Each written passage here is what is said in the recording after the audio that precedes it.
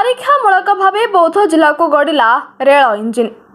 ସୁବର୍ଣ୍ଣପୁର ଜିଲ୍ଲାରୁ ତେଲନଦୀ ବ୍ରିଜ୍ ଦେଇ ଜିଲ୍ଲାର ମାନମୁଣ୍ଡା ପୁରୁଣାପାଣି ଷ୍ଟେସନକୁ ସଫଳତାର ସହ ପହଞ୍ଚିଛି ରେଳ ଇଞ୍ଜିନ୍। ଯାହାକୁ ନେଇ ଜିଲ୍ଲାବାସୀଙ୍କ ମଧ୍ୟରେ ଏବେ ଉତ୍ସାହ। ଦୀର୍ଘ ଦିନର ସ୍ୱପ୍ନ ଧୀରେ ଧୀରେ ସତ ହେବାକୁ ଯାଉଛି।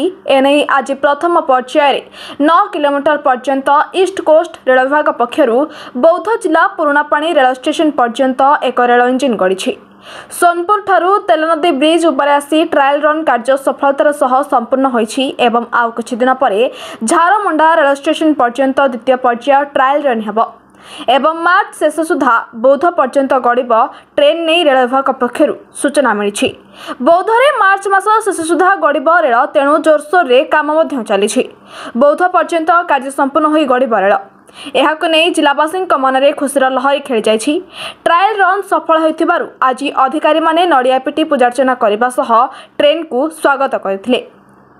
ହରଭଙ୍ଗାରୁ ଚିତ୍ତରଞ୍ଜନ ସିଂଙ୍କ ରିପୋର୍ଟ ସମର୍ଥ ନ୍ୟୁଜ୍। ଗୋଟେ ଗ୍ରୁପ ଫଟୋ ଗ୍ରୁପ ଫଟୋ ନାଇଁ ନାଇଁ ଆଉ ଅଛି ଠିକ ଅଛି ଠିକ ଅଛି ଦେଖ ରେଡି ରଖିଦିଅ ଏଇଟା ଅଛି ଭଲ ବଡ଼ ବଡ଼ ମହାପତ୍ର ବୁଡ଼ାଅ